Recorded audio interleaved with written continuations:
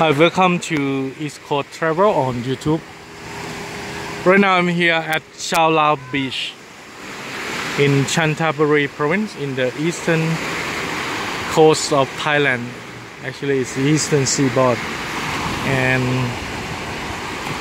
despite this area is not quite famous for, uh, I mean, uh, white sandy beach or something like that, but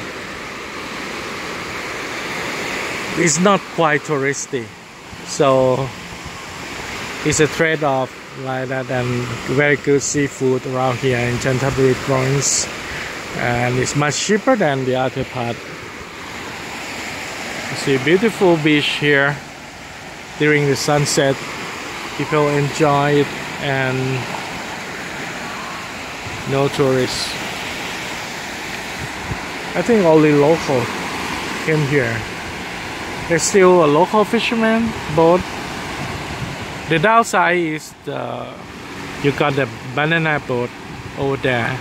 Sometimes it's quite noisy, but right now it's quite okay, manageable.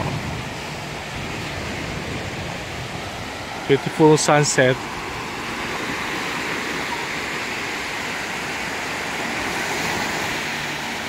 I love this.